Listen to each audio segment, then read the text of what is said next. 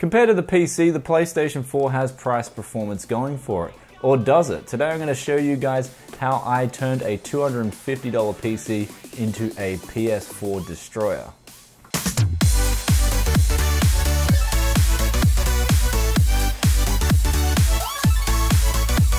Welcome back to Tech Yes City. This is Brian coming to you guys today with the $250 PC, which I've recently completed and I've tested it at 1080p. This thing will get you 60 frames per second in a variety of games, and it will, in my opinion, beat a PS4 and an Xbox One, not only in price performance, but also in everything else. However, before we get onto the build and the actual benchmarking of games, I wanted to do a quick rundown of all the prices that I paid for these parts.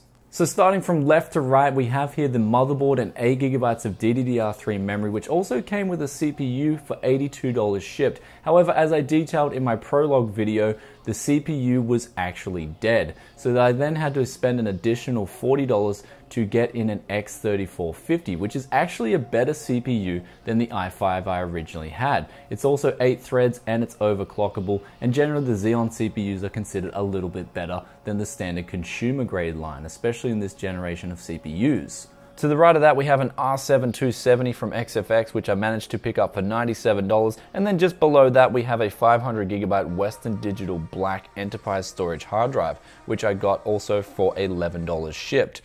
To the right of that, we have a Sith cooler there, which I managed to pick up a while ago for about $10. And then above that, we have an Antec 650 watt power supply, which I picked up for $14 shipped off the internet. And then just behind that, I have the final component, which is the case, where I picked that up for $2 down the junk store. So that leaves the total price of the build to around $255.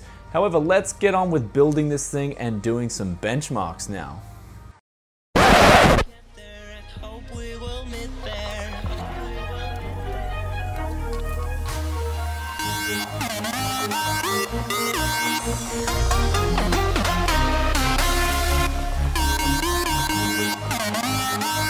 My my my powers. Powers.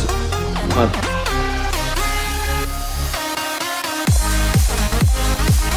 my my my powers. Powers. My power powers. Powers. My power powers my my power powers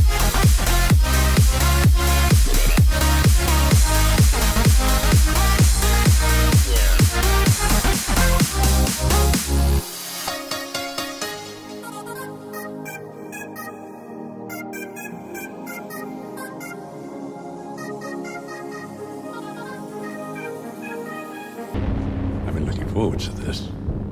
My powers have doubled since the last time we met, Count. Good. Twice the pride, double the fall.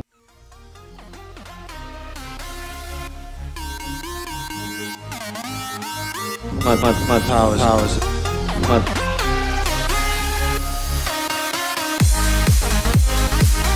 My, my, my powers, powers, my power, powers. powers.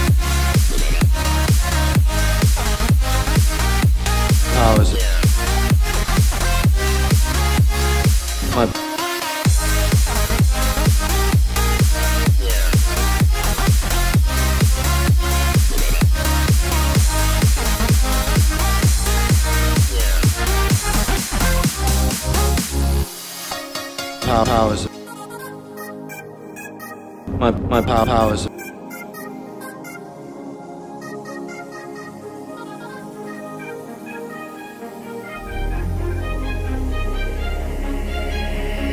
Day has passed like a hurricane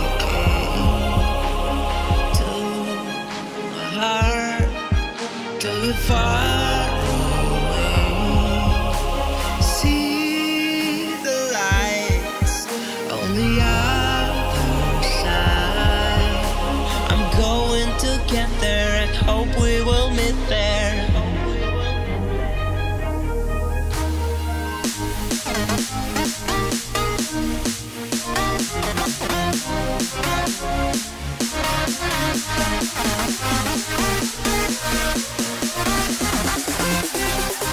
power powers. My my power powers.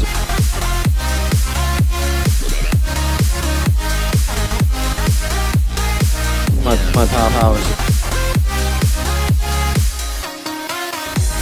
Kill him. Kill him now. I shouldn't. Do it.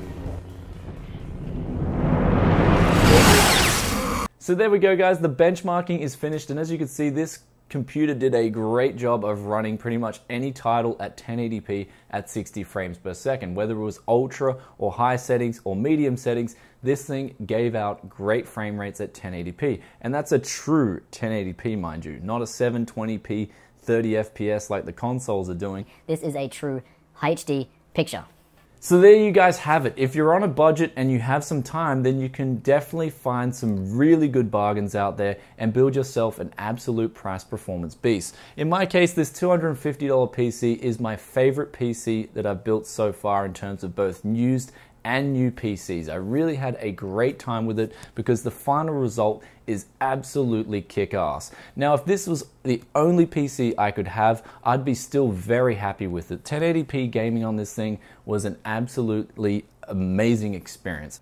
So if you guys want to look for used parts, just keep in mind that you can incur problems. However, in the long run, I do believe it is highly worth it if you know what you're looking for and you know what you're doing. Hopefully some of my used PC videos have given you guys ideas on what parts are pretty hot and will give you great price performance and also what parts aren't good and what parts will give you bad bang for buck. So anyway guys, that's about it. If you have any questions about the $250 console killer, then drop a comment in the comment section below and I'll get back to you as soon as I can. And if you haven't already, subscribe to Tech Yes City for more, more tech news and reviews and I'll catch you in another tech video very soon. Peace out for now. Bye.